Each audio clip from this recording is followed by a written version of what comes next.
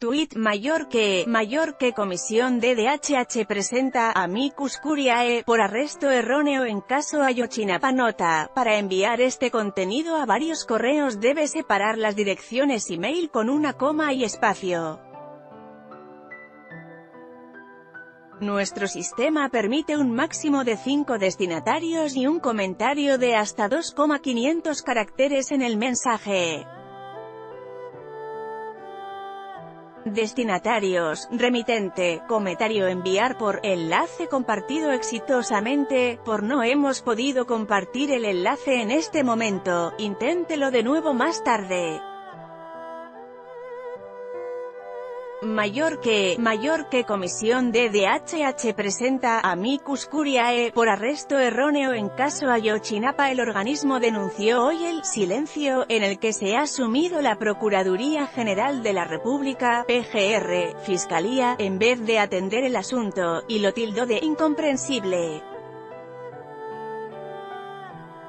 La Comisión Nacional de los Derechos Humanos, CNDH, de México presentó en tribunales, ante la inacción de la Fiscalía, escritos amicus curiae, amigo de la Corte, para que se haga justicia en el caso del hombre detenido erróneamente por la desaparición de los 43 estudiantes de Ayotzinapa en 2014.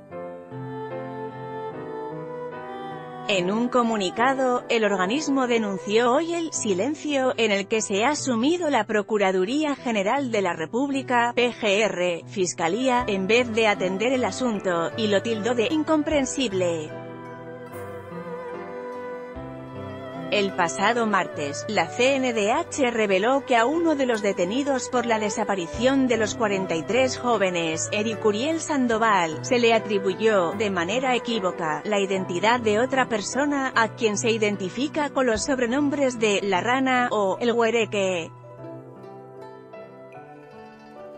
La comisión solicitó entonces la implementación de medidas cautelares para la salvaguarda del detenido y para otras 17 personas más, entre las que se encuentran familiares de Sandoval y testigos. No obstante, estas no han sido concedidas, indicó CNDH. El amicus curiae es una figura que permite a actores ajenos a un juicio o proceso ofrecer razonamientos jurídicos y consideraciones vinculadas con los hechos de un caso. En este caso, los escritos han sido presentados ante dos tribunales con residencia en Matamoros, en el norteño estado de Tamaulipas, los cuales llevan el caso de Sandoval. Esta Comisión Nacional expresa su convicción en que las autoridades judiciales valorarán los elementos que les fueron aportados y emitirán una resolución en favor de la justicia, indicó el organismo. Asimismo, señaló que dará vista del caso ante la Secretaría de la Función Pública y la Visitaduría General de la PGR, órgano de control interno de la Fiscalía, para los efectos a que haya lugar.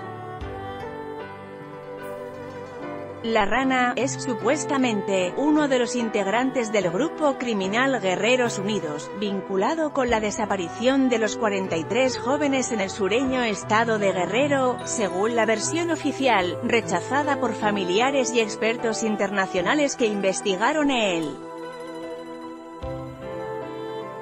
Caso, los 43 estudiantes fueron detenidos en Iguala a la noche del 26 de septiembre de 2014 por policías corruptos que los entregaron a miembros de Guerreros Unidos quienes los mataron e incineraron los cuerpos en un vertedero de basura.